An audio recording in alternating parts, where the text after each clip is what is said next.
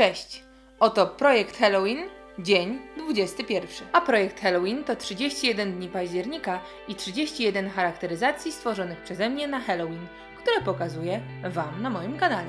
Codziennie pokazuję Wam jedną swoją nową pracę. Oprócz tego, przez cały ten czas mamy 5 tematów przewodnich.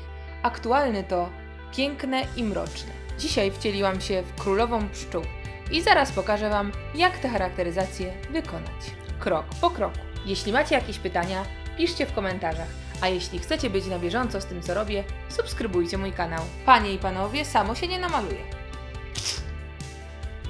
Fryzurę z dziurką na koronę wykonałam już wcześniej, a teraz zakryję brwi.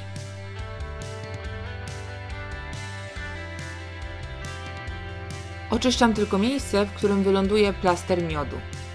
Do jego wykonania użyłam wosku od Mayrona, znajdziecie go na makeyoup.pl. Jest naprawdę bardzo twardy, trzeba go najpierw wyrobić w rękach. Przy pracy z nim dobrze jest mieć cały czas palce zwilżone wazeliną. A tego nie róbcie w domu, absolutnie nie otwierajcie w ten sposób mastiksu. Klejem pokrywam to miejsce, na którym umieszczę wosk. Poklepuję mastix, żeby stał się klejący i przykładam wstępnie uformowany mm, taki placek z wosku. Dobrze rozcieram krawędzie, tak żeby były jak najmniej widoczne. U mnie doskonale sprawdziły się pazury. Pudruję, bo wosk jest bardzo klejący.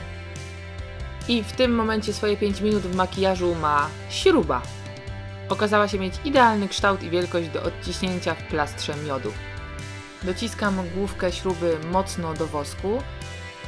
Robię kilka takich sześciokątnych wgłębień, jedno przy drugim, żeby tworzyły wzór plastra miodu.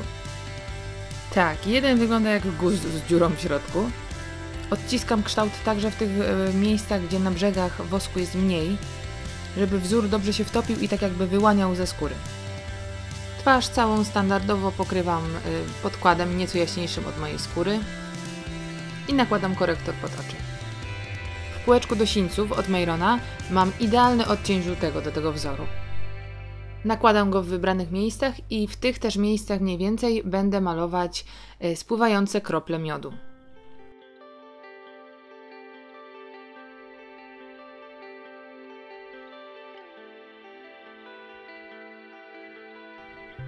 Całość utrwalam pudrem, bo jest to produkt tłusty. Do namalowania miodu używam wodnej farby Diamond Effects w kolorze żółtym. Tak w razie wątpliwości, jest to żółty. Krople muszą być nieregularne i troszeczkę takie grubsze na samym końcu. Szyję maluję na żółto, dodając nieco brązowego przy samej linii żuchwy. I blenduję ze sobą te dwa kolory.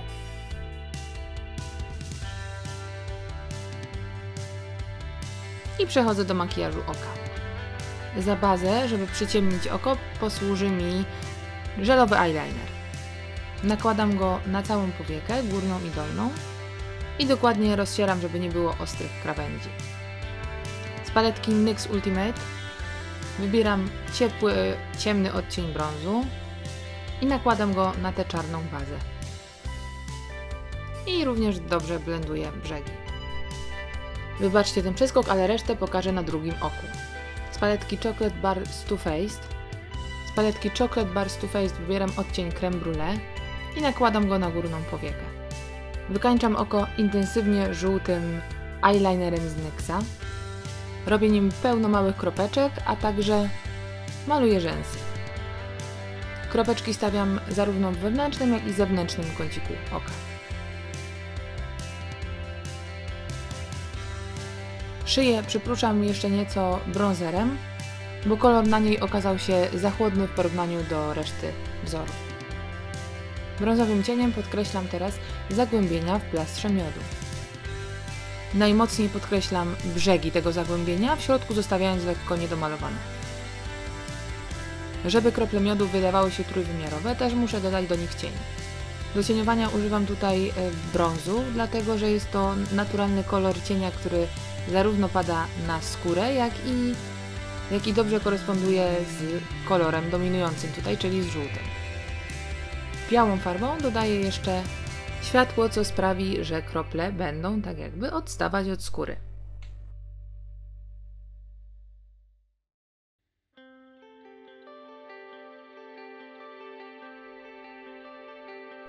Konturuję nieco policzki, a właściwie bardziej linię żuchwy.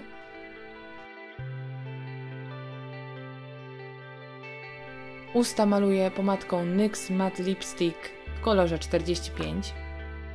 Ma ona odcień takiego jakby bardzo, bardzo głębokiego fioletu, odrobiny tylko wpadającego w brąz i fantastycznie tutaj e, się zgrywa z resztą makijażu.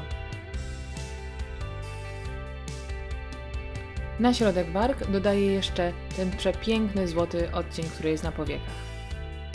I makijaż gotowy. Dodam jeszcze tylko czarne soczewki mini sklera i oczywiście koronę zrobioną, a jakże z kleju na gorąco. Mam nadzieję, że podoba Wam się ten wzór, moja jego interpretacja, a także cały projekt Halloween. Jeżeli jeszcze nie widzieliście, zachęcam do obejrzenia poprzednich odcinków z tego cyklu. I widzimy się oczywiście już jutro. Do zobaczenia. Papa, buźka.